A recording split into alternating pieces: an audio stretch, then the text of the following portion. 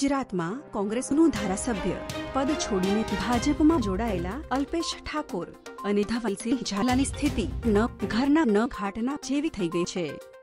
કેમ કે કોંગ્રેસના ધારાસભ્ય પદ છોડી ભાજપમાં જોડાયા અને ભાજપમાંથી પેટા ચૂંટણી લડ્યા, પરંતુ બંને હાર્યા.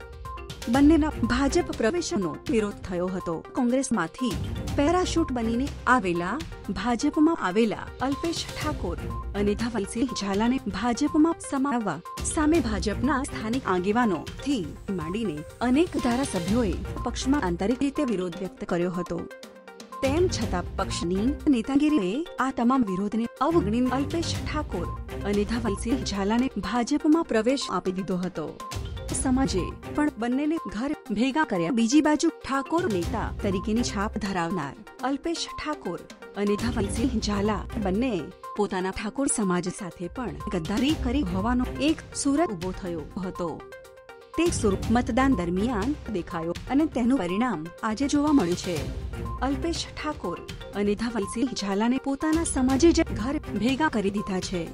અલ્પેશને રાજકારણ પ્રવેશ નિવેદન આનંદપુર વિધાનસભાની બેઠક. ઘણા વર્ષોથી ભાજપ અને કોંગ્રેસ બંને રાજકીય પક્ષ માટે ઘણી મહત્વની રહી છે.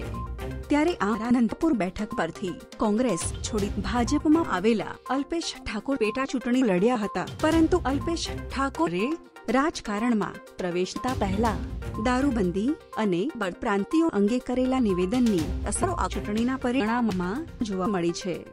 મતદારો જે અલ્પેશ ઠાકોર ભાજપ સરકાર સામે ચૂંટણી લડ્યા જેને લઈને ઠાકોર સમાજમાં પણ ભારે વિરોધ થયો હતો. તો ધવલસિંહ ઝાલા કે જેઓ પણ અગાઉ કોંગ્રેસની ટિકિટ પર બાયડમાંથી ધારાસભ્ય બન્યા હતા, તે જ બાયડ બેઠક પર ફરીથી ભાજપના સિમ્બોલ પર ચૂંટણી લડવા તૈયાર થયા હતા. તેથી જનતાએ તેમને મતદારોનો ભરો કર્યો હોવાની સાથે ધવલ.